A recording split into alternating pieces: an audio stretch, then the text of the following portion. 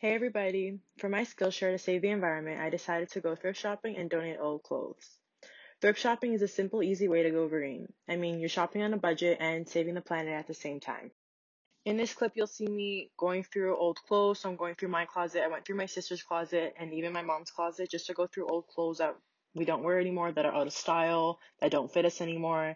And usually we do this about twice a year, usually around fall time and winter time, just to get rid of um, old stuff and do- bring to the donation store.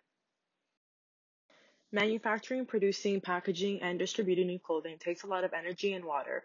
By choosing to thrift and buy secondhand clothing instead of brand new, you reduce waste and help the planet. By choosing to thrift, you help divert more than 700 million pounds of used goods from landfills each year. You're saving 70 to 90% on gently used clothes, household items, and accessories. So it's a win-win for the planet and you. This next clip, I'm browsing through my local value village to see if I can find any cool, unique pieces.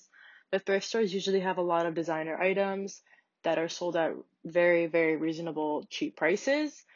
So I'm just going through the men's section, the women's section, just to see what I could find. The thrift store also has a lot of different types of books. So I found one of the books that I did purchase from an Indigo before. It was called The Wealthy Barber and it was only one dollar. So I thought I would show that because that was pretty cool and this is also a well known book.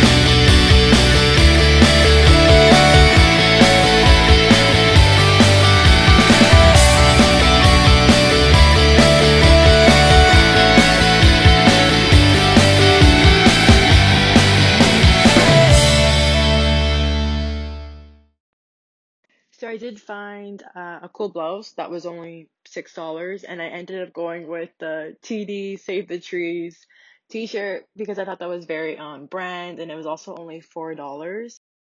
The worker was very sweet and wanted to say hi to my video, but my total was less than twenty dollars, so that is a steal. And now I'm moving on to go back to my car and get the donation bag to go behind the store to the donation center. By donating old clothes, you stop the landfills from getting bigger and you keep usable materials from being thrown in the trash. The fashion industry has a bad habit of changing what's in fashion in order to sell more clothes quickly. Trends are always changing and many people want to stay fashionable. Thank you all for watching. I encourage you all to donate old clothes and thrift shop.